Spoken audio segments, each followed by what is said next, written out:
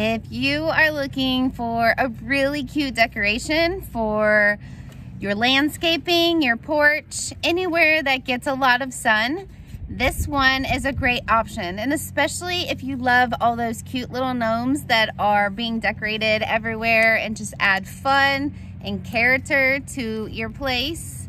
This one has a pot that is already all assembled. You don't have to put it together or anything, so it makes a great gift uh, for anyone in your life because then they don't have to put it together. They just turn on the on switch, put it out in the sun and let it absorb the sun through the solar panel.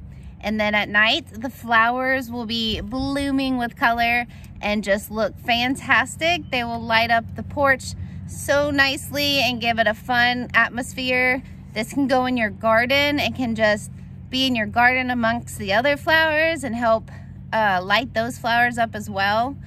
This has three flowers on here that will light up. The vines that they're on move, so you can go ahead and move them around and put them exactly where you want. Here you can see all three gnomes just hanging out there. Looking very cute. It's about the size of my hand and will make a great addition to any garden, landscaping, or porch.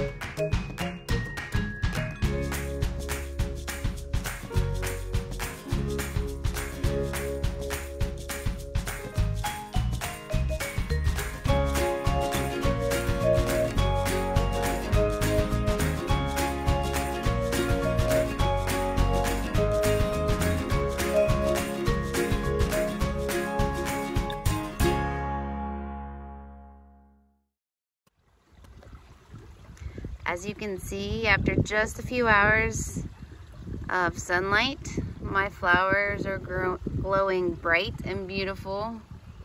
They're changing from purple, green, white, and red. It's adding such a cute feature to my garden, my water pond. You can see the gnomes at the bottom hanging on.